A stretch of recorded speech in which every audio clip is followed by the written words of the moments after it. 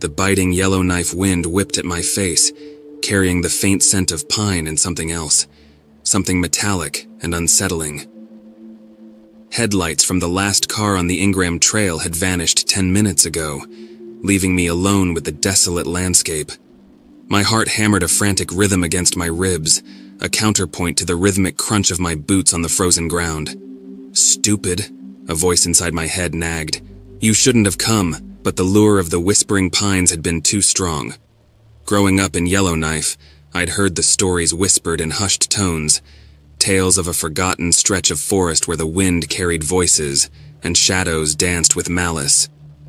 Most dismissed them as campfire legends, but a part of me, a morbidly curious part, had always wondered. Tonight, that morbid curiosity had gotten the best of me. Armed with a rickety flashlight and a backpack full of supplies, I'd ventured into the off-limits section of the trail, the one marked with a crudely painted skull and crossbones. Now, regret gnawed at me like a starving wolf. The pines, impossibly tall and skeletal, loomed over me. Their branches, devoid of needles, scraped the inky sky like skeletal fingers. The air grew thick, a heavy silence punctuated only by the eerie creak of a swaying branch.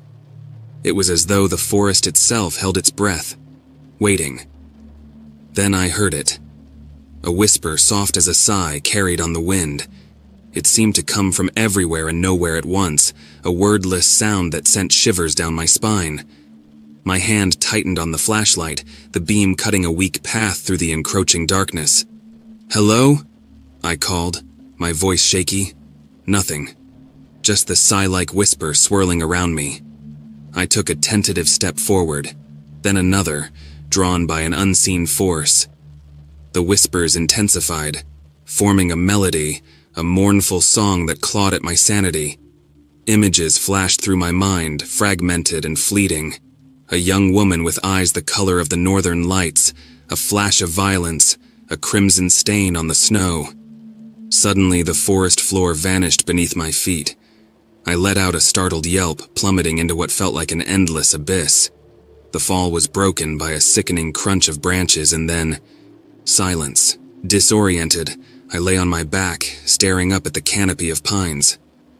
Pain shot through my ankle, a dull throbbing that threatened to consume me.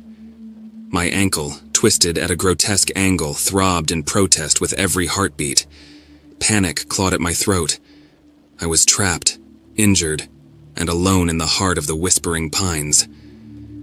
With a ragged sob, I fumbled for my phone, the screen an unwelcome beacon of darkness. No signal. Of course not. Tears stung my eyes, blurring the already dim view. I was going to die here, alone and forgotten, another victim of the whispering pines. A twig snapped behind me.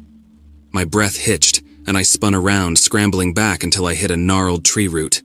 The flashlight beam cut a shaky circle in the darkness, revealing nothing but more trees and shadows.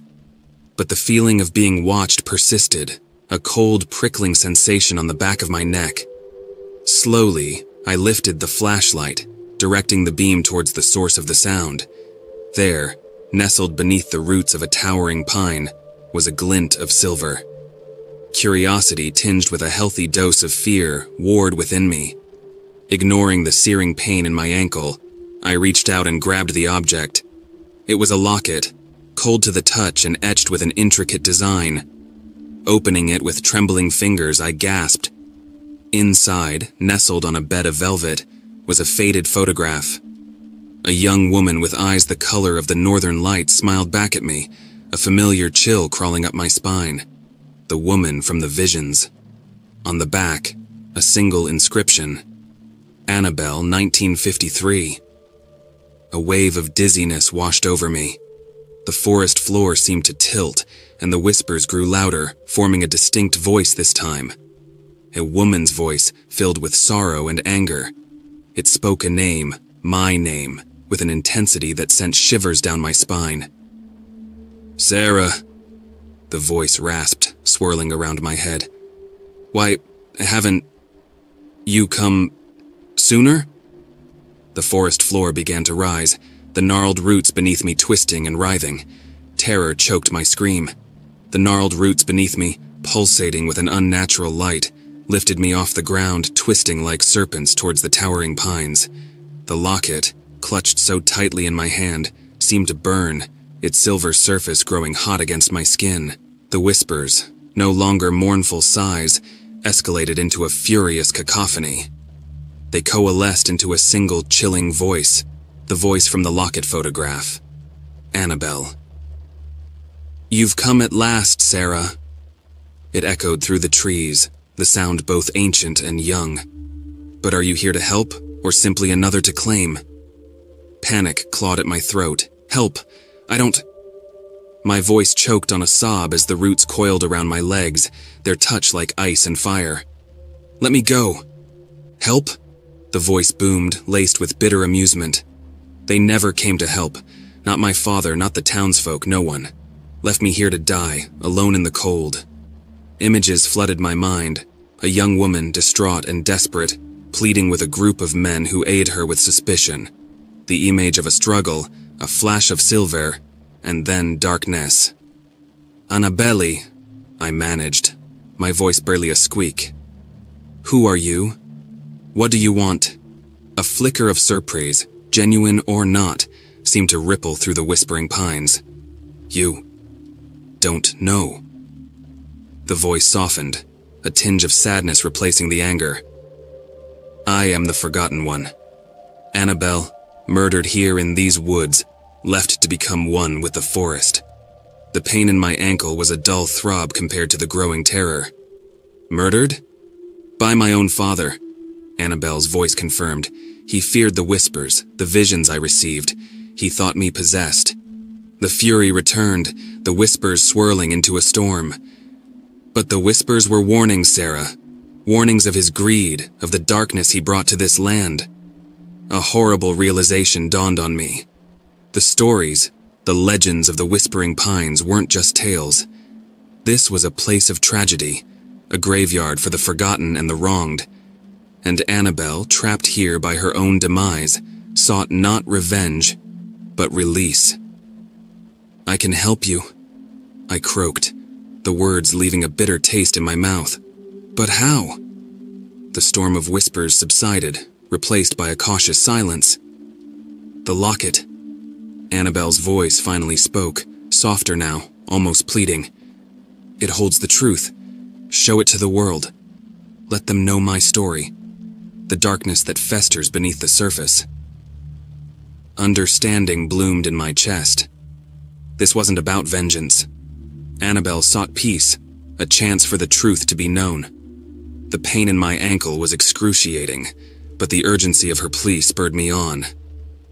Okay, I rasped, ignoring the searing agony. I'll show it. But first you have to let me go. The silence stretched, thick with tension. Then the roots began to loosen their grip. Slowly, agonizingly, I was lowered back to the ground. The pain from my ankle was a dull roar, but I gritted my teeth, refusing to pass out. Thank you, I whispered, clutching the locket tightly. I won't forget you, Annabelle. The forest around me shimmered, the unnatural light fading. The whispers, once a terrifying cacophony, were now a faint sigh carried on the wind. Annabelle was gone, but her presence lingered, a heavy weight on my soul.